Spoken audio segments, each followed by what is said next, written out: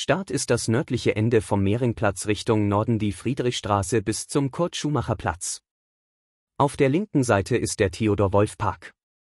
Die Friedrichstraße ist eine der bekanntesten Straßen in Berlin und erstreckt sich über mehrere Stadtteile. Die Friedrichstraße in Berlin wurde nach Friedrich dem Großen benannt, der König von Preußen und eine bedeutende Figur in der deutschen Geschichte war. Friedrich der Große trug maßgeblich zur politischen und kulturellen Entwicklung Preußens bei. Der Name Friedrichstraße wurde im Jahr 1737 offiziell eingeführt. Es ist wichtig anzumerken, dass es in verschiedenen deutschen Städten Straßen mit dem Namen Friedrichstraße gibt, und sie wurden oft zu Ehren verschiedener Mitglieder der königlichen Familie der Hohenzollern oder anderer wichtiger Persönlichkeiten benannt. In Berlin ist die Friedrichstraße jedoch besonders bekannt. Historisch gesehen spielte die Friedrichstraße eine wichtige Rolle während der Teilung Berlins, da sie sich unmittelbar am Grenzübergang Checkpoint Charlie befand, einem Symbol des Kalten Krieges. Auf der rechten Seite liegt der Besselpark mit der gleichnamigen Besselstraße. Er wurde nach dem Mauerfall als namenloser Platz angelegt und später zu einem Park ausgebaut. Seinen Namen erhielt der Park nach dem Astronomen Friedrich Wilhelm Bessel. Auf der linken Seite ist der Berliner Polizeiabschnitt 53 der Polizeidirektion 5 und das Landesamt für Bürger- und Ordnungsangelegenheiten. Es folgt der U-Bahnhof Kochstraße. Die Kochstraße ist eine Station der Berliner U-Bahn-Linie U6 im Bezirk Kreuzberg. Er liegt unterhalb der streckenführenden Friedrichstraße an der Kreuzung mit der namensgebenden Kochstraße und der Rudi-Dutschke Straße. Wir folgen der U-Bahn-Linie 6 oberirdisch bis zum Kurt-Schumacher-Platz. Ins Blickfeld kommt nun gleich die Touristenattraktion Checkpoint Charlie. Der Checkpoint Charlie war einer der Berliner Grenzübergänge durch die Berliner Mauer zwischen 1961 und 1990. Er verband in der Friedrichstraße zwischen Zimmerstraße und Kochstraße den sowjetischen mit dem amerikanischen Sektor und damit den Ostberliner Bezirk Mitte mit dem Westberliner Bezirk Kreuzberg. Vor über 60 Jahren kam es am amerikanischen Grenzübergang Checkpoint Charlie zur ersten Konfrontation amerikanischer und sowjetischer Panzer. Sie standen sich nahezu 16 Stunden gegenüber, ohne dass ein Schuss fiel. Berlin und die Welt hielten den Atem an. Wenn da einer die Nerven verloren hätte, dann hätte es den Dritten Weltkrieg auslösen können. Der Checkpoint war auch Schauplatz spektakulärer Fluchten aus dem damaligen Ostberlin. In unmittelbarer Nähe wurde der DDR-Flüchtling Peter Fechter ermordet, er wurde von mehreren Schüssen eines Ostberliner Grenzers getroffen und verblutete am 17. August 1962 vor den Augen westlicher Beobachter. Am Checkpoint Charlie befindet sich auch das Museumhaus am Checkpoint Charlie. Es wurde am 14. Juni 1963 in unmittelbarer Nähe zur Berliner Mauer eröffnet. Es dokumentiert die Geschichte und Geschehnisse der Berliner Mauer, Fluchten und den weltweiten gewaltfreien Kampf für Menschenrechte. Wir überqueren den südlichen Bereich des U-Bahnhofes Stadtmitte, der von den U-Bahn-Linien U2 und U6 befahren wird. Es folgen die Kreuzungen Leipziger Straße, Kronenstraße und die Mohrenstraße. Dazwischen befindet sich der nördliche Zugang der U-Bahn-Station Stadtmitte. In der Mohrenstraße befindet sich auch das Rausch Schokoladenhaus. Ein elegantes Café mit großer Verkaufsfläche und einzigartigen Schokoladen und Pralinen. Die handgefertigten Schokoladenkreationen werden in der Rausch Schokoladenmanufaktur in Berlin-Tempelhof hergestellt. Dieser Abschnitt der Friedrichstraße war Teil eines Straßenkampf der besonderen Art. Autofrei und Fahrradstraße? Das war die große Frage. Mit dem Regierungswechsel und mit dem regierenden Bürgermeister Kai Wegner kehrte wieder Vernunft ein und die Strecke ist eine Straße ohne ideologischen Grabenkampf. In dieser relativ ruhigen Straße können alle Verkehrsteilnehmer gut auskommen. Mal sehen, wie lange der Frieden herrscht. Auf der linken Seite befindet sich das russische Haus. Das russische Haus ist die Kulturbotschaft Russlands. Auf der rechten Seite befindet sich das Kaufhaus, Galerie Lafayette. Die Berliner Filiale öffnete 1996 und war zuletzt der älteste noch existierende internationale Standort der Kaufhauskette außerhalb Frankreichs. Nun ist die Schließung beschlossen, Ende 2024 soll das Luxuskaufhaus schließen. Die Zukunft des Hauses ist ungewiss, die Zentral- und Landesbibliothek könnte einziehen. Wir überqueren hier die französische Straße. Hier befand sich der U-Bahnhof Französische Straße. Das war eine ehemalige Station der Berliner U-Bahn-Linie U6. Er befindet sich unterhalb der Kreuzung Friedrichstraße, Französische Straße und wurde am 30. Januar 1923 eröffnet und am 4. Dezember 2020 mit Eröffnung des direkt daneben liegenden U-Bahnhofs unter den Linden stillgelegt. Unter den Linden führt nun die neu gebaute U-Bahn-Linie 5. Sie ist eine Verlängerung der Linie 5 vom Alexanderplatz bis zum Berliner Hauptbahnhof. Der neue Kreuzungsbahnhof unter den Linden machte den Bahnhof Französische Straße überflüssig. Der folgende Abschnitt der Friedrichstraße erstreckt sich von der Kreuzung Berndstraße unter den Linden bis zur Weidendamer Brücke. Direkt am Anfang der Friedrichstraße, nahe dem The Westin Grand Berlin, befindet sich der berühmte Boulevard unter den Linden, der von zahlreichen historischen Gebäuden und Sehenswürdigkeiten gesäumt ist. Der Bereich rund um das Hotel zeichnet sich durch eine elegante Atmosphäre aus, mit Geschäften, Restaurants und kulturellen Einrichtungen. Beim Fortschreiten Richtung Norden entlang der Friedrichstraße begegnet man einer Vielzahl von Einkaufsmöglichkeiten, darunter renommierte internationale Marken und Berliner Boutiquen. Unter anderem das Kulturkaufhaus Dussmann. Die Friedrichstraße ist ebenso als Kulturmeile bekannt, da sie mehrere Theater und Galerien beherbergt. Der Bereich rund um den S-Bahn- und U-Bahnhof Friedrichstraße und den Tränenpalast ist besonders interessant und historisch bedeutsam. Das Admiralspalast Theater ist ein herausragender Ort für Konzerte, Musicals und andere kulturelle Veranstaltungen. Der S-Bahn- und U-Bahnhof Friedrichstraße ist einer der wichtigsten Verkehrsknotenpunkte in Berlin.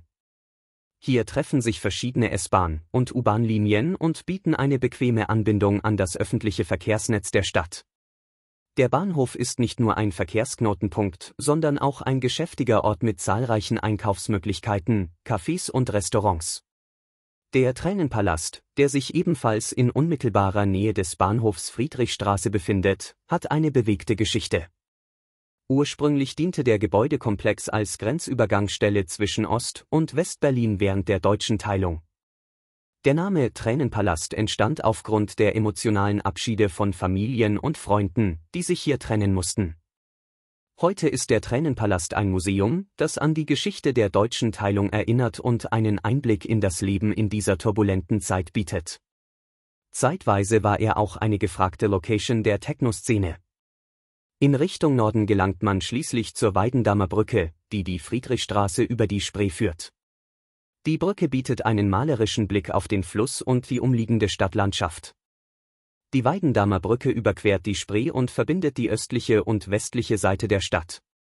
Von der Brücke aus hat man einen Blick auf die Ufer der Spree und die umliegenden Gebäude, unter anderem zur Museumsinsel und Bodemuseum. Die Brücke selbst ist architektonisch interessant. Die Friedrichstraße erstreckt sich weiter nördlich von der Weidendamer Brücke bis zur Torstraße. Auf diesem Abschnitt begegnet man bedeutenden kulturellen Einrichtungen und historischen Orten.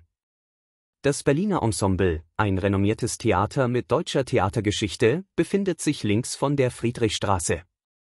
Das Ensemble wurde 1949 von Bertolt Brecht und seiner Frau Helene Weigel gegründet. Der Friedrichstadtpalast, rechts, ist ein weiteres markantes Gebäude auf diesem Abschnitt der Straße. Dieses Theater ist nicht nur für seine beeindruckende Architektur bekannt, sondern auch für seine spektakulären Shows und Veranstaltungen. Der Friedrichstadtpalast ist eine der wichtigsten Bühnen für Varieté und Entertainment in der Stadt und beherbergt auch den Quatsch Comedy Club. Weiter geht es zum Oranienburger Tor, das sich auch auf diesem Abschnitt der Friedrichstraße befindet. Hier gibt es historische Sehenswürdigkeiten wie die neue Synagoge. Die neue Synagoge ist ein beeindruckendes Beispiel für maurische Architektur und ein wichtiges Denkmal für die jüdische Geschichte. Schräg gegenüber befand sich auch das sogenannte Kulturzentrum Tacheles. Die Torstraße, die oberhalb des Oranienburger Tors beginnt, ist eine beliebte Straße in Berlin-Mitte. Hier findet man trendige Bars, Restaurants, Galerien und Boutiquen.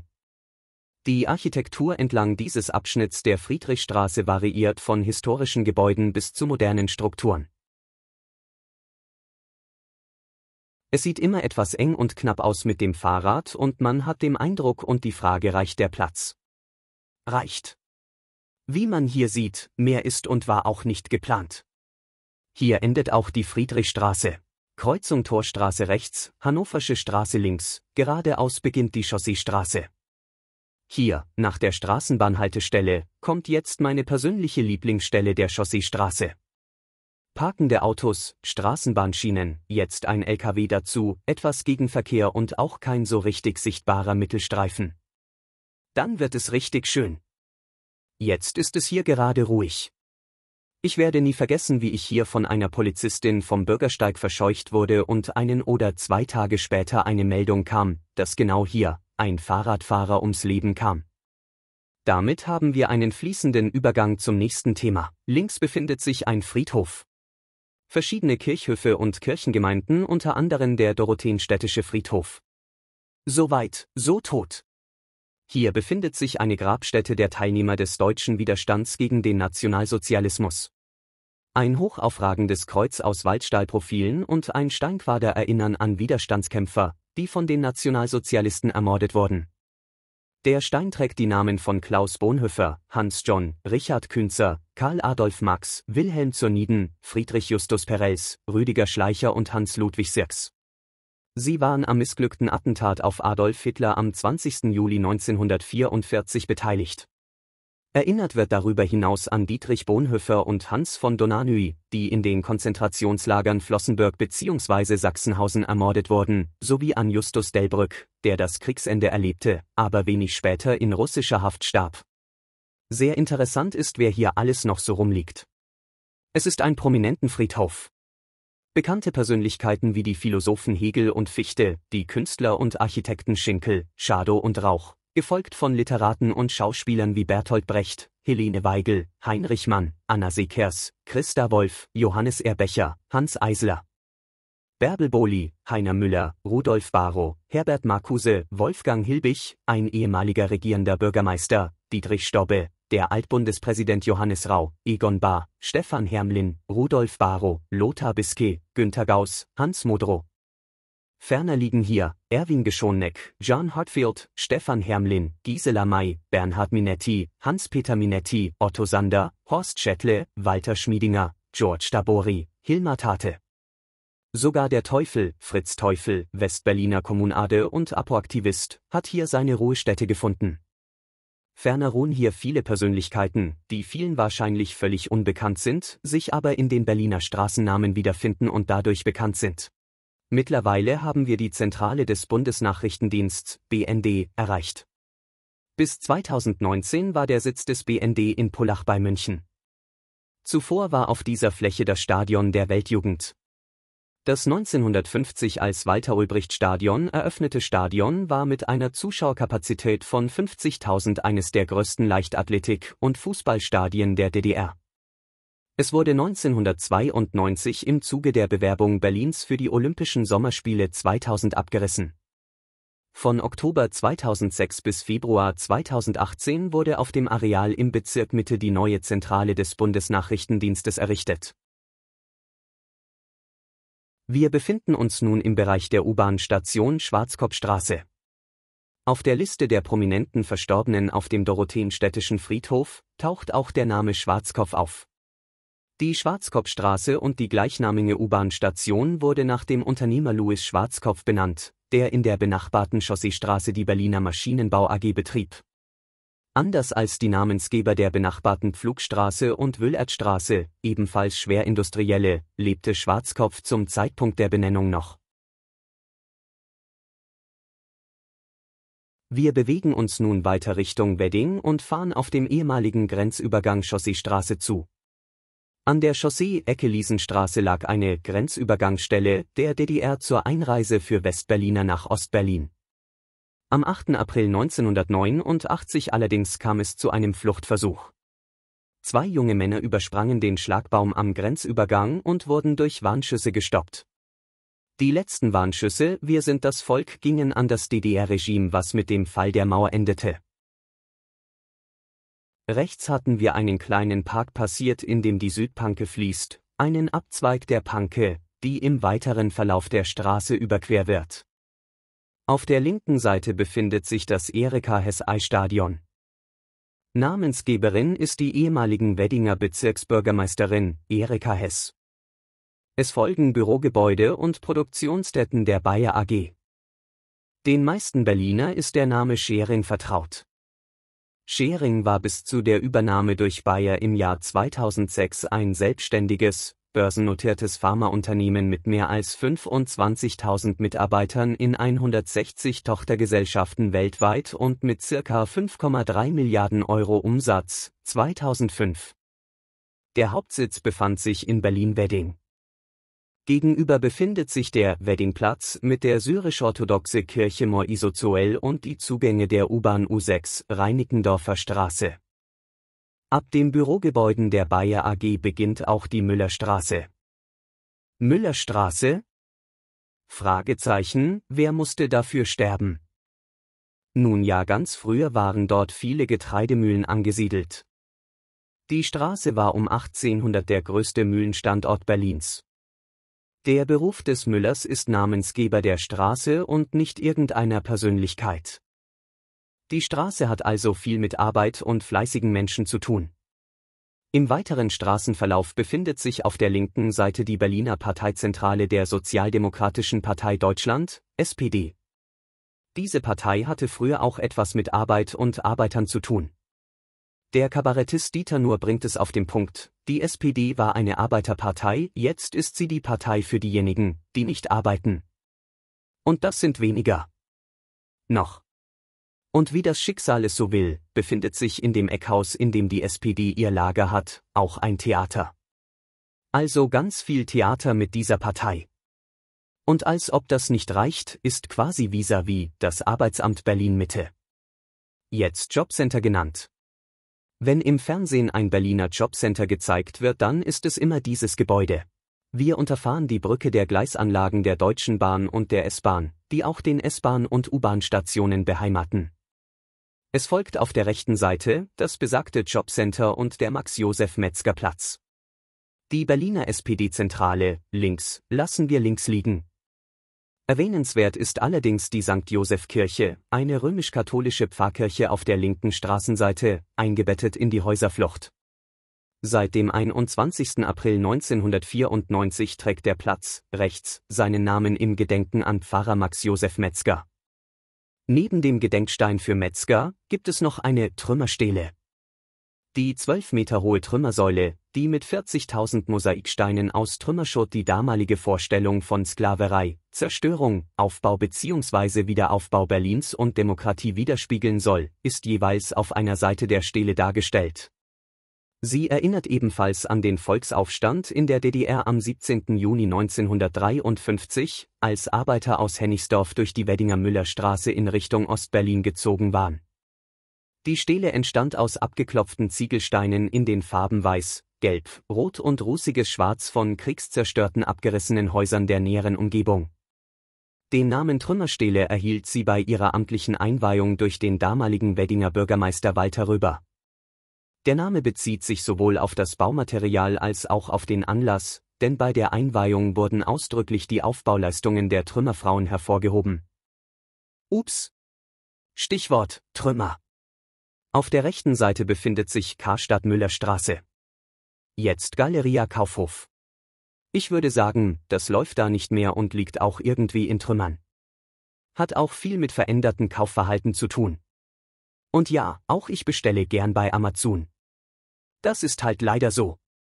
Es folgt das nächste Sorgenkind. Der Leopoldplatz. Der Leopoldplatz gilt noch nicht als kriminalitätsbelasteter Ort, doch es gibt seit Jahren eine ausgeprägte Szene von Drogensüchtigen und Drogendealern und Obdachlose. Also kein Platz mehr mit Wohlfühlqualität. Für keinen. Also schnell weiter. Und weiter geht die wilde Fahrt. Links sehen wir ein weiteres Jobcenter. Laut Google, Jobcenter Berlin Mitte, Dienstgebäude Leopoldplatz. Der Platz davor nennt sich allerdings Elise und Otto Hampel Platz. Das ist nicht ganz schlüssig. Früher war in diesem Gebäude das Bezirksamt Wedding untergebracht. Das Backsteinhaus war das alte Bezirksamt und wird vom Bezirk noch genutzt. Die Bezirke Mitte, Wedding und Tiergarten fusionierten zum Bezirk Mitte von Berlin und machten das bestehende Gebäude überflüssig. Der Platz und eine Gedenkstele erinnern an das Schicksal des Ehepaars Hampel. Das Schicksal der beiden wurde 1947 zum Vorbild für Hans Falladers Roman. Jeder stirbt für sich allein. Zwischen September 1940 und September 1942 verfassten sie Postkarten und etwa 200 Handzettel, in denen sie zum Widerstand gegen den Nationalsozialismus und zur Behinderung der Kriegsplanungen aufriefen und die sie in Treppenhäusern überwiegend im Umfeld ihrer Wohnung in Wedding niederlegten. Nach Ermittlungen, die zwei Jahre dauerten, bis die Urheber aufgrund des Hinweises einer Denunziantin gefasst wurden. Nachdem sie verraten worden waren, wurden die Hampels am 20. Oktober 1942 verhaftet.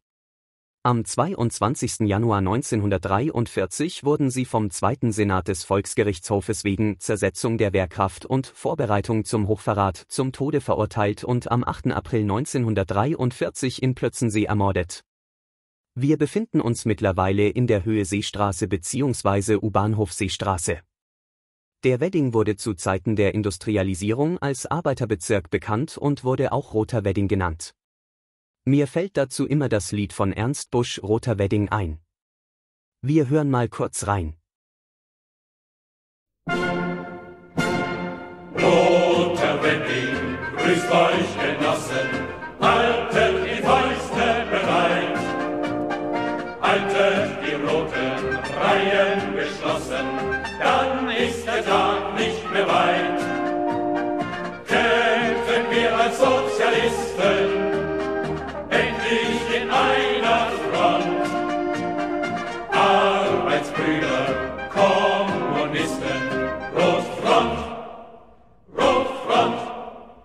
In einer weiteren Strophe des Liedes. Ein Lump, wer kapituliert? Wir tragen die Wahrheit von Haus zu Haus und jagen die Lüge zum Schornstein hinaus. Wie Karl Marx es und Lenin gelehrt. Und schlug auch der Feind unsere Besten tot, der Wedding kommt wieder, Berlin bleibt rot, damit Deutschland den Deutschen gehört. Eine klare Sprache, klare Aussagen. Die Musik wurde von Hans Eisler komponiert. Den hatten wir schon in Verbindung mit dem Dorotheenstädtische Friedhof erwähnt. Mittlerweile haben wir die Seestraße und den Onnenfriedhof Seestraße passiert und kommen nun am BVG U-Bahn Hauptwerkstatt Seestraße vorbei. Das Eingangstor neben dem kleinen weißen Gebäude mit den gelben Flaggen der BVG wirkt sehr unscheinbar. Es führt direkt auf das Gelände der U-Bahn Haupt- und Betriebswerkstatt. Die U-Bahn-Wagen, die zur Instandsetzung und Wartung vorgesehen sind, gelangen über eine unterirdische Gleisanlage auf das Werkstattareal. Ich muss gestehen, erst durch diese Recherche habe ich diese Anlage erst so wahrgenommen. Und die Betriebswerkstatt ist nicht wirklich klein. Im weiteren Verlauf kommt noch der BVG Omnibus Betriebshof, der etwas auffälliger daherkommt und allgemein bekannter ist. Die Alliierten teilten Berlin in vier Sektoren ein, Frankreich kontrollierte den nordwestlichen, England den westlichen und die USA den südwestlichen Teil der Stadt. Der gesamte Ostteil Berlins verblieb unter der Kontrolle der Sowjetunion. Wir befinden uns im französischen Sektor. Zur linken Seite befindet sich ein großer Park, der Volkspark Rehberge, dem unmittelbar sich der Goethepark anschließt, sowie das Strandbad Plötzensee. Der Name Plötzensee wurde schon vorher im Laufe der Fahrt erwähnt. Durch den Spandauer Schifffahrtskanal getrennt befindet sich dort die Gedenkstätte Plötzensee. Zwischen 1934 und 1945 verurteilt der Volksgerichtshof mehr als 5600 Menschen vor allem aus Deutschland, Österreich und aus dem besetzten tschechischen Gebiet wegen politischer Straftaten zum Tode. Von ihnen werden mehr als 1500 im Strafgefängnis Berlin-Plötzensee ermordet. Insgesamt wurden zwischen 1933 und 1945 im Gefängnis Plötzensee 2891 Todesurteile vollstreckt, unter anderem an Mitgliedern der Roten Kapelle, der Herbert Baum Gruppe, Teilnehmern des gescheiterten Umsturzversuchs vom 20. Juli 1944 und an Mitgliedern des Kreisauer Kreises. Auf der rechten Seite befindet sich ein weiterer großer Park. Der Schillerpark mit dem sogenannten englischen Viertel. Benannt ist das Viertel nach den Straßennamen, die wiederum nach britischen und irischen Städten benannt sind, wie beispielsweise die Londoner Straße, die Edinburgher Straße, die Dubliner Straße oder die Bristolstraße. Das Viertel wird durch den Schillerpark in seiner Mitte geprägt. Das englische Viertel ist fast ausschließlich eine Wohngegend, in der sich mehrere Großsiedlungen befinden, wie beispielsweise die Siedlung Schillerpark. Zu den wenigen Geschäftsbauten gehören der Betriebshof Müllerstraße, die Hauptwerkstatt Seestraße der Berliner Verkehrsbetriebe und das Paul-Gerhardt-Stift, eine Stiftung zur Pflege von Kindern, Kranken und Alten. Hier fahren wir gerade evangelischen Domfriedhof Müllerstraße vorbei. Links gegenüber erstreckt sich das sogenannte afrikanische Viertel. Auch hier lauten die Straßennamen entsprechend Afrikanische Straße, Ghana-Straße, Guinea-Straße, Kameruner Straße, Kongo-Straße, Mohasi-Straße, Sansibar-Straße, Senegal-Straße, Togo-Straße, Uganda-Straße um einige zu nennen. Kontroversen gab es um einige Namensgebungen im Viertel. Insbesondere die nach Akteuren des Kolonialismus benannten Straßen, wie die Lüderitz-Straße, Petersallee und der Nachtigallplatz. Diese sind und waren immer wieder Ziel von Initiativen zur Umbenennung. Hinter dieser Backsteinfassade rechts verbirgt sich ein relativ großer Omnibusbetriebshof der Berliner Verkehrsbetriebe, BVG. Der Betriebshof wurde 1927 eröffnet und er war bei seiner Inbetriebnahme der zweitgrößte Straßenbahnhof Berlins. Er diente bis 1958 der Straßenbahn und wird seit 1960 als Omnibushof genutzt. Die Anlage umfasst neben dem eigentlichen Hof einen ihn umgebenden Wohnblock mit etwa 300 Wohnungen. Das Personal sollte in Zeiten von Wohnungsnot und Klassenkampf an die Firma gebunden werden. So entwarf man nicht nur den eigentlichen Betriebshof mit seiner riesigen Wagenhalle, sondern bebaute auch den Blockrand mit Wohnhäusern für die Arbeiter und Angestellten. An den Seiten zur Einfahrt wurden zwei 32 Meter hohe Torgebäude errichtet, hier kam die Verwaltung unter. Die Gesamtanlage steht unter Denkmalschutz. Wir befinden uns jetzt in der Höhe U-Bahnhof Afrikanische Straße, die vorne links in die Müllerstraße mündet. Berlin verfügt über sehr viele Grünflächen und Parks und sehr große Parkanlagen. Auch gibt es ebenso viele Kleingartenanlagen und Friedhöfe. Links der Straße, die jetzt zur Scharnweberstraße wird, gibt es eine weit ausgestreckte Kleingartenanlage, die sich bis zum Volkspark Jungfernheide erstreckt. Davor ist noch der Volkspark Rehberge und im Anschluss die Julius-Leber-Kaserne. Rechts der Scharnweberstraße befinden sich diverse Friedhöfe.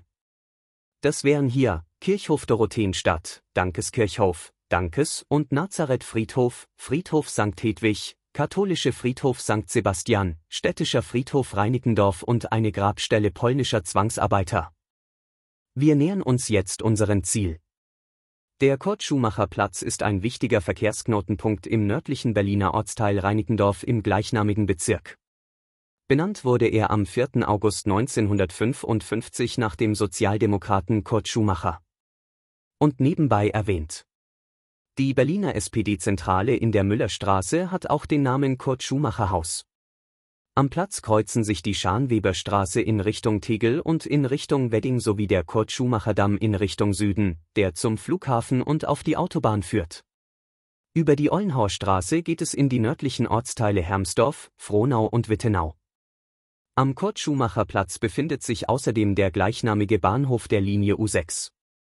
Kurt-Schumacher-Platz, das war ein ganz besonderer Platz, denn hier befand sich die Einflugschneise des damaligen Berliner Flughafen Berlin-Tegel, zu Zeiten des Betriebes des benachbarten Flughafens passierten Flugzeuge beim Start oder im Landeanflug den Platz in relativ geringer Höhe.